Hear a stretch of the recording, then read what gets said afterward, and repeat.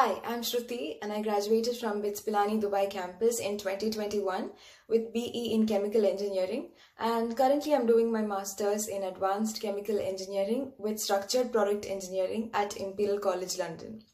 The Department of Chemical Engineering at BITS offered me with such a strong foundation and high quality education that right now I'm able to apply all the knowledge that I gained during the last four years for my master's program.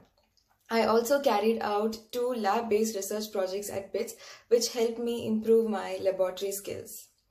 The faculty in the department are also very supportive, encouraging and always open to questions.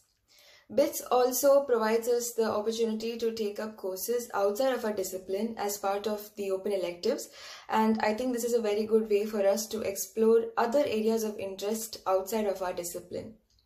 Outside of academics, BITS also offers a range of extracurricular activities to take part in through the various clubs available.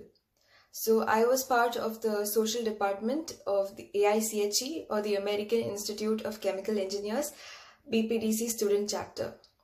I also represented the students for the disciplinary committee and doing that particular ro role helped me gain uh, some important skills such as conflict management, negotiation skills and decision making which I think are key to both professional and personal development.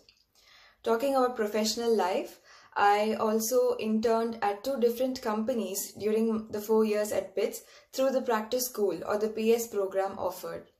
So at the end of my second year, I interned at Sanbo Quality Consultancy and during my fourth year, I interned at Reckitt, which is a FMCG company.